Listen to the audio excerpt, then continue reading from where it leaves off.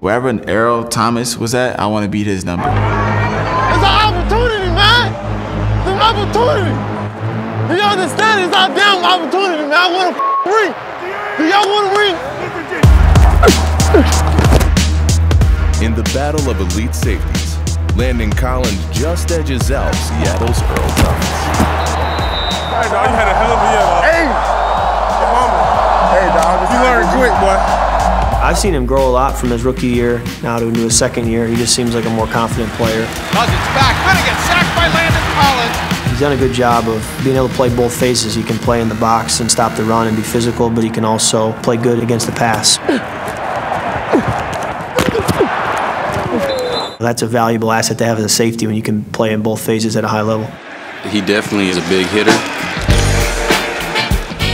My mind got stuck on with him is he's just a tackling guy. He's opening up and starting to show a lot of maturity and looking like a real vet back there. His fifth interception in the last four games. He's the best safety in the game.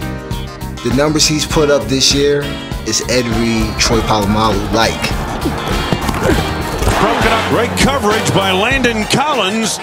Wrong with. Just knowing that LC is like behind me and I know what I got behind me, oh, I'm ready.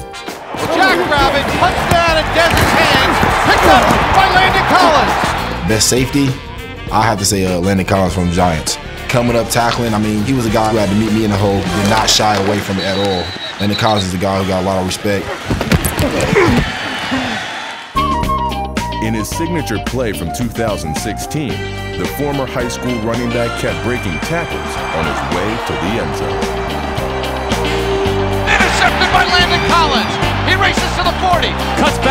Back 35, reversing near side of the field. runs out of a tackle at the 30, Still on his feet as he hits the sideline 25. 15, weaving his way to the 10, to the 5, and into the end zone for the touchdown. Boom, popped up in the air, boom, chasing it, jumped up and one got it. I was running towards the sideline and I looked. I said, man, there's a lot of blue jerseys right here, bro. So I'm gonna just go ahead and make this cutback because I see all white jerseys to the left. Then I see Jackrabbit calling me like this, come on, come on, come on, come on. And I look to my left, I see the other guy coming. I said, man, you gonna block this guy. So I had to hop over him. And just smooth sailing for real, for real. I get the ball in my hand, man, like literally going for six. And then one of them grabbed my foot, so I had to jump in the end zone and stuff like that. Good job. Great job, ALC. Way to be over top, baby. And, you know, dap it up.